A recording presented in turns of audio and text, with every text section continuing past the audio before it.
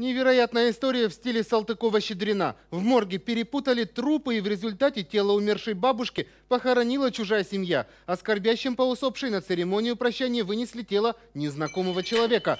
Близкие бабушки были в недоумении, когда в траурном зале вместо любимой старушки в гробу они увидели мертвого незнакомца. Следующая новость повергла в шок всех. Бабушку уже похоронили чужие люди и даже не заметили подмены. Подобная громкая история с перепутанными покойниками была и в самом Челябинске. Ну, что, я слепошарый, что ли? Приехали хоронить, тут другие. Я говорю, «Э, Санька не то, что, дядь Ген, не то?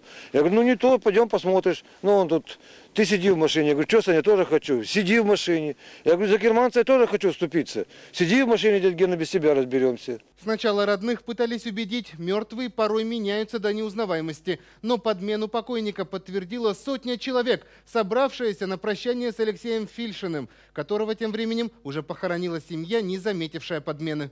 Нашли, получается, в другом кладбище, где-то за плотиной, кладбище там называется, Шершневское, что ли.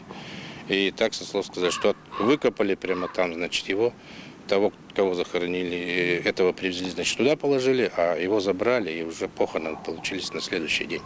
Но неприятности Фильшиных после эксгумации не закончились. Когда процессия пришла на кладбище, могила оказалась уже занята. Путаница получилась уже с погребением. И лишь на четвертые сутки тело дедушки наконец-то обрело покой.